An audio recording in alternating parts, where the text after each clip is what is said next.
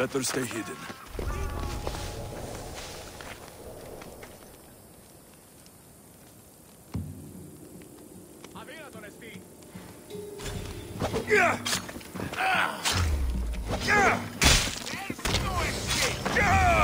How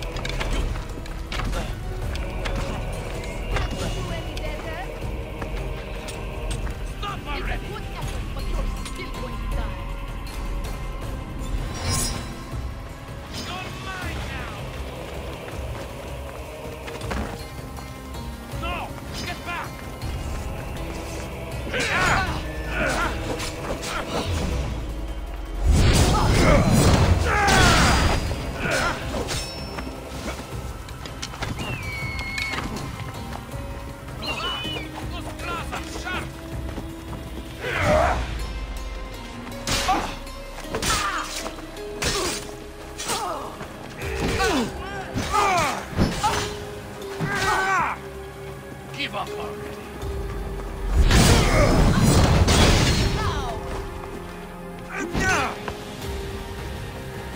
already!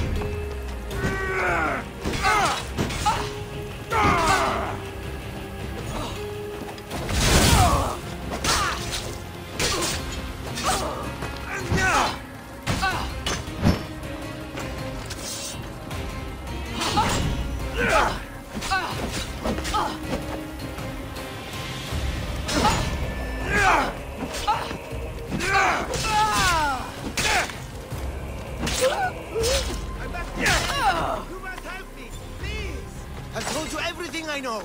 Wait, wait. Who are you? Ardo sent me. Can you walk? The boy. Thank the gods. Let's get out of here before they return.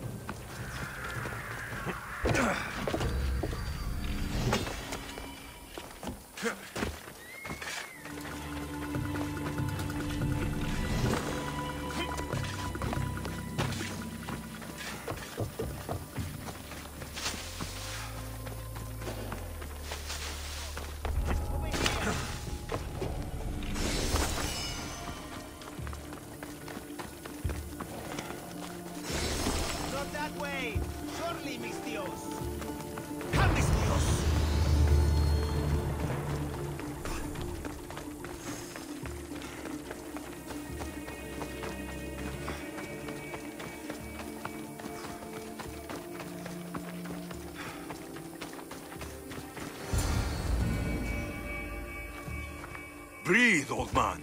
Ardos, the boy. Is he safe? Uh, alive?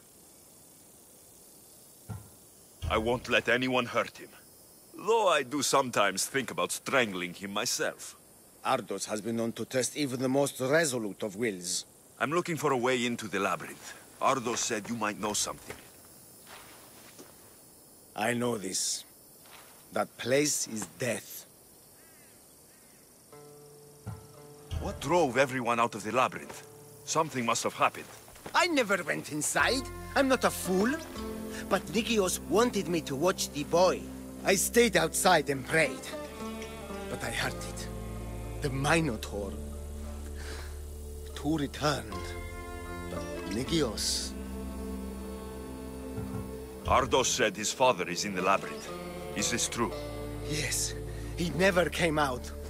Though two who did will never truly escape it. Ardos says you refuse to speak or talk to him about his father. How can anyone tell a boy the person he looks up to, his father and only family, is dead? What I can do in Nukios' honor is to stop his son from entering that cursed place. Why would they hurt you? When the survivors fled the Minotaur, they left behind a disc. The key to the labyrinth. And I kept it Then why do they think Ardos has it? because he does. He stole it from me. And I told them about it. they tortured me, Misthios. I, I tried not to break. I failed him. I failed him all these years. The people who tortured you belong to a powerful cult. And they have broken stronger men than you. You can still make things right with Ardos. As smart as he is, he still needs someone to look out for him. Family, he needs you.